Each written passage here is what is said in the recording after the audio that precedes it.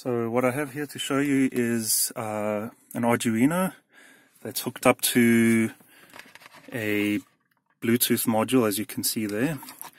Uh, so basically I've done um, a software serials to communicate with the Bluetooth chip um, and the transmission from the Arduino is done via a voltage division which is these resistors over here uh, because the Bluetooth board actually operates on 3.3 volts, not 5 volts. So you want to do a voltage divide to drop that down.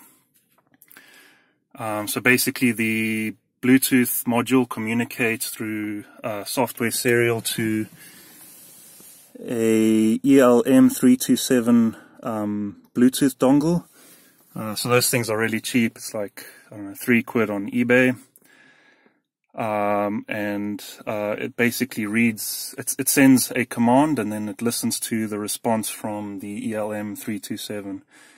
And then the Arduino board converts that response into actual meaningful temperatures and uh, whatever else it is you want to monitor through the ECU. Uh, and then finally on pins A4 and A5 is mirrored the uh, the LCD screen. Um, so what happens is when we switch on the car, activates the,